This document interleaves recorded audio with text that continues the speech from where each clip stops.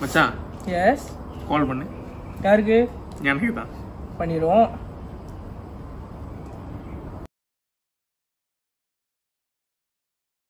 Got the man with the plan right here. Bringing swag with the man right here. Living up fun, sipping on beer.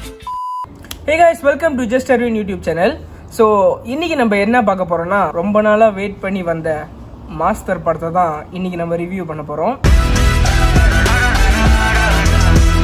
Yes so வாங்க வீடியோக்குள்ளே போகலாம்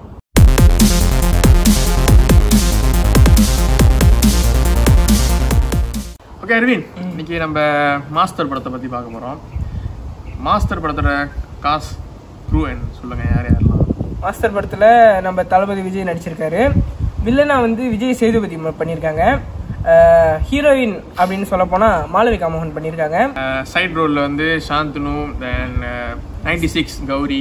Sub villain Arjun Das sub villain Arjun villain. Arjun Das அப்புறம் Andrea நடிச்சிருக்காங்க. அப்புறம் நடிச்சிருக்காங்க. விஜயோட அவரோட real ஃப்ரெண்ட்ஸ்லாம் அவர் கூட சீன்ஸ்லாம் பண்ணியிருக்காங்க படத்தில். பாட்டு ஒரு பாட்டுக்கு வருவாங்க.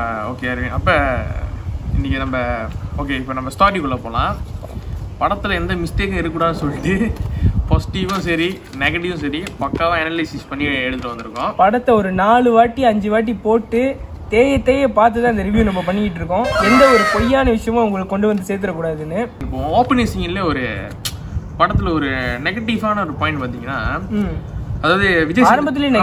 ஆரம்பத்திலேயே ஆரம்பத்திலே. சேட்டை பண்ணிட்டாங்க. விஜய் சேதுபட்ட யங் ஓஷன் சரியா? அப்ப அந்த மூணு வெட்டியான வில்லனுங்க இருப்பானுங்க. அவனுக்கு நினைச்சிருந்தா அங்கேயே அவனுங்களை போட்டு சாவடிச்சிருக்கலாம். அது விட்டு விட்டு காசு கொடுத்து இவன் சீர்திருத்தும் பணியில இவனை சேர்த்து விட்டு அங்க இவனை இப்ப சித்திரவாதம் பண்ணுங்க அப்படின்னு ஒரு லாஜிக்கே இல்லாத ஒரு விஷயத்த பண்ண அதை பத்தி ஆனா அதுல அந்த மூணு பேர்ல வந்து ஒருத்தர் சொல்லுவார் இவனை வந்து விட்டுறலாம் இவன் ஒன்றும் பண்ணலையே அப்படின்னு. ஆனா அதுக்கு அதுக்கு அதுக்கு வந்து அவர் திருப்பி சொல்லுவாரு ஒரு ஸ்கூலுக்கு அனுப்புறேன் போறியாடா? அப்படின்னு கேட்பாரு ஆனா ஸ்கூலுக்கு அனுப்பி அவனை டார்ச்சர் பண்றாரு. இது இது ஒண்ணு. அவனை- மன்னிச்சு விட்டுருக்கணும். இல்ல அங்கேயே அவனை போட்டு தள்ளி இருக்கணும் இது இது எதுக்கு இந்த இந்த காசு கொடுத்து இவனை டார்ச்சர் பண்ண சொல்லி இது- confuse பண்ற விளையாட்டு. அது என்ன நோக்கம்? அவன் புரியல. அந்த- எனக்கு புரியல. அந்த ஒரு கட்டம் எங்க ரெண்டு பேருக்குமே புரியல. எப்பயுமே படத்துல பாத்தீங்கன்னா ஹீரோவுக்கு தான் இன்ட்ரோ கொடுப்பாங்க. மாசா, மாசான இருக்கும், கொடுப்பாங்க. ஆமா. ஆனா இந்த படத்துல இந்த வித்தியாசமான ஒரு விஷயத்த பாத்தீங்கன்னா வில்லனு தான் எடுத்தோன்னே காட்டுறாங்க. வில்லனோட லைஃப் ஸ்டைல் தான் முத காட்டுறாங்க. ஸோ அடுத்து வந்து. த மோஸ்ட் அவைட்டட் மூமெண்ட் நம்ம தளபதியோட என்ட்ரி ஆமா. அவரோட என்ட்ரி எப்படி இருக்குன்னா எடுத்தோடனே வந்து ப்ராப்ளமேட்டிக்கான ஒரு என்ட்ரி என்ட்ரி ஆரம்பத்துல ஒரு ஃபைட் அவருக்கு ஒரு ஃபைட் சீன் போட்டாங்க. ஆனா அந்த ஃபைட் சீன் வந்து எனக்கு என்னமோ போரிங்கே இல்லாத மாதிரி தான் இருக்கு அந்த ஃபைட் சீன் ஏன்னா ஒரு கட்டம் வந்து பஸ்லயும் இன்னொரு கட்டம் வந்து. ட்ரெயின்லயும் சோ அந்த அந்த வித்தியாசம் இருந்துச்சு ஃபைட் அதனால நம்மளுக்கு அந்த அந்த கதையோட நம்ம ஃப்ளோ பண்ணும்போது இந்த ஸ்டார்டிங் ஒரு நல்லாவே இருந்துச்சுன்னு சொல்லலாம் ஃபைட் சீன் எதுக்கு தேவையே இல்லாம வச்சாங்கன்னு அப்படின்னு தோணல. இதுவும் அந்த கட்டம் இது பரவாயில்ல. இல்ல சில படத்துல பாத்தீங்கன்னா நான் பேர் சொல்ல ஃபைட் சீன் வந்து இழுத்துக்கிட்டே போவோம். பாக்குறவங்களுக்கு என்னடா இவ்வளவு நீட்டா வருது? போர் அடிச்சிரும். ஆனா இதுல வந்து போரே அடிக்காது. ஏன்னா வேற வேற ஆங்கிள் வச்சு இதை எடுத்திருக்காங்க. வேற வேற இடத்துல. ஸோ ரொம்பவே அருமையா இருந்துச்சு அந்த அந்த கட்டம் நல்லா இருந்துச்சு. அஹ் இந்த ஓப்பனிங் சீன் வந்து அவருக்கு விஜய்க்கு ஒரு ஒரு லெவல்ல மாசா கொடுத்துருந்தாங்க. அதுக்கு அந்த வாத்தி கமிங் ஓ. வேற லெவல்ல இருந்துச்சு. நம்மளாம் வந்து பார்த்தோம் நம்மளாம் அங்கே ஆட்டம் போடணும் ஏஞ்சி. ஏன்னா அந்த- நாங்க அந்த வந்து அந்த. வீடியோ சாங் வந்தப்பயும் நாங்க பார்க்கல. படத்துல தான் பார்க்கணும்னு வெயிட் பண்ணோம். சோ வேற லெவல் எக்ஸ்பீரியன்ஸா இருந்துச்சு அது. ஆமா. இந்த படத்துல அது ஒரு ப்ளஸ் பாயிண்ட் பாத்தீங்கன்னா நான். எல்லா வீடியோ சாங்ஸும் பாத்தீங்கன்னா அந்த கதையோட டிராவல் பண்ணுது. சோ மித்த படத்துலாம் பாத்தீங்கன்னா வேற வேற ஊர்ல போய் எடுப்பாங்க. high budget high. பட்ஜெட்ல படத்துல நீங்க வேற இடத்துல போய் எடுப்பாங்க. இல்ல திடீர்னு வந்து இது கிச்சன்ல வந்து லவ் பண்ணிட்டு இருப்பாங்க. திடீர்னு பார்த்தா அமெரிக்கால இருப்பாங்க. ஓ அதெல்லாம் வந்து நம்ம ஏத்துக்க முடியாது. நம்ம தளபதி வேலை செய்யற காலேஜ்ல தான் வந்து மாளவிகா மோகனும் லெக்சரரா புதுசா ஜாயின் பண்றாங்க. யார் இந்த ஜேடின்னு கேக்குறாங்க. சோ ரம்யாவும் வந்து இந்த ஜேடியை பத்தி ஒண்ணு ஒண்ணா சொல்லிக்கிட்டு வராங்க. அதுல முக்கியமான ஹைலைட் என்னன்னா தேடி வந்து ஒரு ஒரு ஆள்கிட்டையும் அப்பப்போ சொல்ற கதைகளை சொல்லியிருக்காங்க. சோ அது ரொம்பவே ஒரு நகைச்சுவை. அந்த படத்துல அது ஒரு ஒரு ஒரு அது ஒரு வித்தியாசம். ஒரு ஒரு படத்துல ஒரு லவ் ஸ்டோரி எடுத்துங்க சொல்லுவாரு இந்த பிரேமம். வாரணம் ஆயிரம் 7G இங்க இருக்கிற அமெரிக்கா. ஆமா. கிட்டார் மாட்டிட்டு கிளம்பிட்டேன்னு செவன் ஜி காலனி. அப்புறம் கடைசி டைட்டனிக்ல முடிப்பா அப்படியே வேற லெவல் ஸோ அந்த அந்த விஷயம் வந்து நல்லா இருக்கும். படம் ஸ்டார்டிங் ஓடிக்கிட்டு இருக்கும்போது எலெக்ஷன் பத்தி ஒன்று வருது அரவிந்த் அதுல வந்து தளபதி ஒரு விஷயம் கரெக்டாக சொல்லியிருப்பார் அப்படி. எதுக்கு வந்து எலெக்ஷன் வந்து நடத்தணும்? பிள்ளைங்க மத்தியில வந்து தெரி தெரிவிக்கணும். அந்த ஒரு விஷயம் டெலிவர் பண்ணியிருப்பாரு. அது உண்மையாலே அருமையான கருத்தா இருந்துச்சு சரியாரு? சோ அந்த ஒரு கட்டம் வந்து இந்த படத்துக்கு கொண்டு இல்ல வெளியில இருக்கிறவங்களுக்கும் ஒரு அவேர்னஸ் கொண்டு வர மாதிரியான ஒரு கட்டமா இருந்துச்சு. எல்லாருக்கும் இந்த இந்த காலகட்டத்துல யங்ஸ்டர்ஸ்க்கு ரொம்பவே தேவைப்படுற ஒரு கருத்தை கொடுத்திருந்தாங்க. அடுத்து பார்த்தீங்க அரவின் ஒரு விஷயம். டக்குன்னு காலேஜ் எலெக்ஷன்லாம் நடக்கும். அங்கே ஒரு டீம் இருக்கும். சாந்தூர் ஒரு டீம் கௌரி ஒரு டீம் அப்படின்னு இருப்பாங்க. அதில் ஒரு அதில் ஒரு லாஜிக் இல்லாத ஒரு விஷயம் பிடிச்சிட்டேன். விருப்பா இருப்ப அப்படி பயப்படல சாந்தனும் அப்புறம் அந்த எலெக்ஷன் அந்த பிள்ளை தேய்ச்சிட்ட பிறகு வந்து சொல்லும் அந்த பிள்ளை.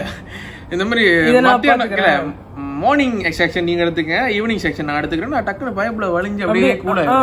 அப்படியே அவர் அப்படியே கை அப்படியே தூக்கி செகண்ட் அப்படி கொடுத்துருவேன் நம்ம பாக்குறோம்னா கேளுங்களா? அவ்வளவு வெறப்பா இருப்ப அப்படியே. டக்குனு இவ்வளவு சண்டை போட்டு கடைசி கை பிள்ளை வந்து சொல்லிட்டான்னு விட்டுட்டாரு. என்ன ஐயா? அப்புறம் அந்த இடத்துல ஒரு ஃபைட் சீன்லாம் வருது. விஜய் வந்து ஒரு கட்டத்துல கண்டுபிடிப்பாரு. யாரு வந்து ஸ்டூடெண்ட்ஸ் யார் வந்து வெளியில இருந்து வந்திருக்காங்கன்னு. ஆமா. ஒரு ஒரு விஷயம் அவர் ஒரு சைக்காலஜி ப்ரொஃபசர் சோ அந்த ஸ்டூடெண்ட்ஸ் சோ அதான் சொல்றேன். ஃபைட் சீன் எங்கேயுமே போரிங் அடிக்கல. சரியா இல்லையா? ஏன் போரிங் அடிக்கல? ஏன்னா அந்த அவங்க கேமரா வச்ச ஏங்கலா இருக்கட்டும் அந்த இடத்த காட்டுறதா இருக்கட்டும் ரொம்பவே அருமையா இருந்துச்சு. இன்னொன்னு அந்த லாஜிக்கா இருந்துச்சு அந்த ஃபைட்ல இந்த கொஞ்சம் குத்துனாலே அவங்க பார்க்கறது உழுவுறதால அது அடிச்சா அவன் ஒத்துக்கிட்டே. ஆகணும். ஆ. எப்பவுமே அடிச்சோன தமிழ் படத்துல எல்லாம் பறப்பாங்க. பறந்து போய் மரத்துல தொங்குவாரு கிளையில தொங்குவாரு அந்த மாதிரி இல்லாம. அடிச்சாலும் உழுவுற மாதிரி அடிச்சாலும் உழுவுற மாதிரி. அந்த மாதிரி அந்த மாதிரி ஒரு நல்ல ஒரு நல்ல விஷயம்லாம் படத்துல பார்த்தோம். படத்துல பாத்தீங்கன்னா இன்டர்மிஷன் சீன் கொஞ்சம் நல்லாவே இருந்துச்சுன்னு சொல்லலாம். இந்த ஹீரோக்கும் வில்லனுக்கும் ஒரு கனெக்ஷன் அங்கதான் கொடுக்குறாங்க இன்டர்மிஷன் தான்.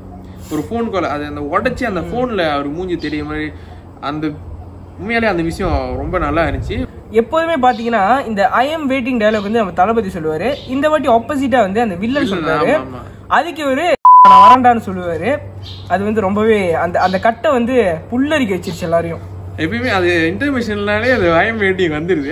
இந்த வில்லன் சொல்றப்பதான் எங்க செம்மையா ஆமா இருந்துச்சு. செமையா இருந்துச்சு அந்த அதுக்கு அவர் சொல்றதும் அதுக்கு நம்ம தளபதி ரிப்ளை பண்றதும் நல்லா இருந்துச்சு ரொம்பவே பார்க்க. ஓகே அப்புறம் நம்ம வந்து அடுத்து ஐவன் பார்த்தோம்னா கதை வந்து சிறுவர் தீர் சீர்திருத்தம் பள்ளிக்கு போறாரு. அங்க ஓடுது கதை. இந்த கட்டத்துல வந்து நம்ம ஹீரோயினோட பங்கு ரொம்பவே நம்ம பேசியே ஆகணும் இன்னைக்கு. ஸோ இந்த ஹீரோயின் தான் வந்து விஜய் சைன் போட்டு இந்த காலேஜ்க்கு அனுப்புவாங்க. நம்ம ஹீரோயின் தான் பாத்தீங்கன்னா அந்த இறந்துடுவானுங்க ரெண்டு பையனுங்க. அவங்களுக்கு வந்து விஜயோட நம்பரை ஹீரோயின் தான் கொடுப்பாங்க. அங்க விஜயை இவங்க தான் சைன் போட்டு அனுப்பி வைப்பாங்க. இதுல இதுல வந்து எதுவுமே விஜய்க்கு தெரியாது. அவர் வந்து ஒரு மூணு மாசம் பிரேக் வேலை கொடுத்துருக்காங்க பயலுகளுக்கு எல்லாம் இவங்க இவங்க தான் ஹோப் கொடுப்பாங்க. ஆமா. ஒரு மாஸ்டர் வருவாரு உங்களை காப்பாத்துவாரு அதுன்னு ஆனா அவங்க அங்க அங்க சொன்னாங்க. ஒரு வார்த்தை வந்து இங்க சொன்னாங்களா? இல்ல. மாஸ்டருக்கு. தெரியாது. வீட்டுக்கு வரலாம்னு நினைக்கிற மனசனை இப்படி கோத்து விட்டுட்டு. அந்த இறந்த பையனுக்கு அம்மா மணிக்கு சொல்லுவாங்க. இந்த சாவுல இருந்து உங்களுக்கும் பங்கு இருக்குன்னு சொல்லுவாங்க. அவரு முழிப்பாரு. எனக்கு இதெல்லாம் தெரியாது. பாவமா இருக்கும் ஐயா. அந்த கட்டத்துல இருந்து அவர் வந்து இந்த குடியை விடுறாரு. ஆமா. சரியா குடியை விடுறாரு பாவம் தண்ணி எல்லாம் எடுத்து அந்த தண்ணி இல்ல இது வேற தண்ணி. தண்ணி எல்லாம் எடுத்து கீழே ஊத்துறாரு. அதை பாக்குற சில குடி மக்கள் எல்லாம் நினைச்சிருப்பாங்க. வயிறு எரிஞ்சிரும் வயிறு எரிஞ்சிருக்கும். நம்மளுக்கு ஊத்துறது பதில் நம்மளும் கொடுத்துருக்கலாம். ஆக்சுவலி அந்த குடி குடியை கெடுக்கும் தான். ஆனா இந்த பாக்குற குடிமக்களுக்கு வந்து ரொம்பவே ஒரு கவலைக்கிடமான ஒரு விஷயமா இருந்திருக்கும் இது. ஏன்னா அவ்வளோ பொட்டி பொட்டியா எடுத்து தூக்கி போடுவாரு. கீழே ஊத்துவாரு தூக்கி போடுவாரு.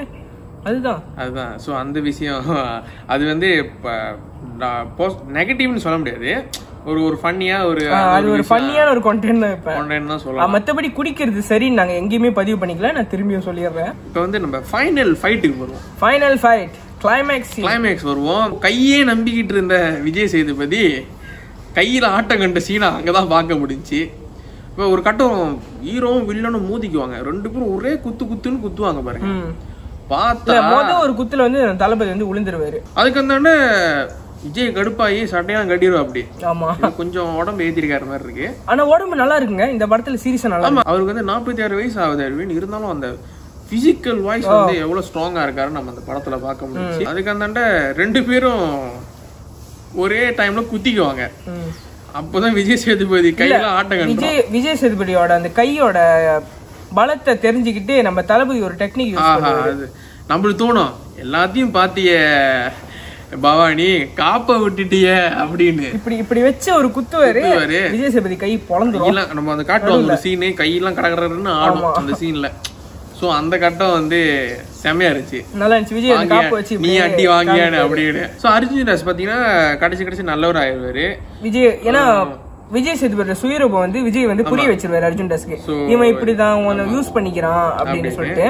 அந்த சண்டை முடிஞ்சதுக்கு அப்புறம் அர்ஜுன் தாஸ் வந்து கேட்பாரு உங்களோட உண்மையான கதை தான் என்ன ஏன் இப்படி இருக்கீங்க? இவன் லவ் ஸ்டோரி இருக்கான் சொல்லுங்கன்னு. அந்த இடத்துல நம்ம தளபதி டைட்டானிக் ரொம்ப நல்லா ஃபன்னியா தான் இருந்துச்சு. படத்துல காமெடியன் இல்ல அப்படின்ற குறையே இல்ல. நம்ம தளபதி படத்துல பாத்தீங்கன்னா இந்த தளபதியோட சின்ன சின்ன நக்கல்கள் சின்ன சின்ன அந்த அந்த செய்கைகள்லாம் உண்மையிலேயே நல்லா இருந்துச்சு படம் அவர் சும்மா கை கால் ஆட்டுறது கூட காமெடியா இருந்துச்சு இந்த படத்துல அந்த அந்த ஒரு சீன் நல்லா கொண்டு வந்திருக்காரு. ஆனா இன்னொரு ஒரு சந்தேகம் எனக்கு இருக்கு. அந்த பூனையை வந்து தூக்கிட்டு போற மாதிரி அந்த ஸ்டில்ஸ்லாம் வந்து படம் விளையாடுறது போல நிறைய விளையாடுச்சு. அந்த கட்டம் வந்து எதுக்கு? கட் நினைக்கிறேன். ஆமா ஏன்னா ஒரு அவங்க கூட்டமே அவங்க ஃப்ரெண்ட்ஸும் விஜய் அவர் வந்து அந்த பூனையை தூக்கி நிக்கிற மாதிரிலாம் ஸ்டில்ஸ் வெளியானுச்சு. ஆனா அந்த கட்டம் வந்து படத்துல ஒரே ஒரு. கட்டம் மட்டும் தான் அவர் பூனை தூக்கிட்டு போவார். அந்த ரெண்டு பையனுங்க பார்க்க போவாரு. அப்பதான் அந்த பூனையை தூக்கிட்டு போவாரு. அது ஒரு பெரிய இது மாதிரி ஹைப் மாதிரி காட்டியிருந்தாங்க. நான் படத்துல பெருசா அவ்வளவு தெரியல. மியூசிக் பத்தி சொல்லுங்க அரவிந்த் மியூசிக் அனிருத் இந்த படத்துக்கு ரொம்பவே அருமையா கொண்டு வந்திருக்காரு. ரொம்பவே அருமையா இருந்துச்சு. படத்துல அந்த பிஜிஎம் நல்லா ஒர்க் அவுட் ஆயிருக்கு பிஜிஎம் எந்தெந்த இடத்துல எப்படிப்பட்ட பிஜிஎம் எல்லா இடத்துக்கும் வாத்தி கம்மிங் பிஜிஎமே போடல. ஸோ நிறைய இடத்துல நிறைய விதமான பிஜிஎம் இன்க்ளூட் பண்ணிருக்காங்க. இந்த வாத்தி ரைடா இருக்கட்டும் அந்த வாத்தி கபடி. வாத்தி கபடி சச் எதிர்பாராத நேரத்துல வந்து அந்த பிஜிஎம் வேற வெளியாச்சு லெவல்ல இருந்துச்சு. வேற லெவல்ல தான் இருந்துச்சு. லோகேஷ் கனகராஜ் ஓவராலா படம் எப்படி செஞ்சிருக்காருன்னு நினைக்கிறீங்க? லோகேஷ் கனகராஜ் மூணு படத்துல இது வந்து ரொம்பவே நல்லா எடுத்திருக்காரு ரொம்பவே அருமையா எடுத்திருக்காரு.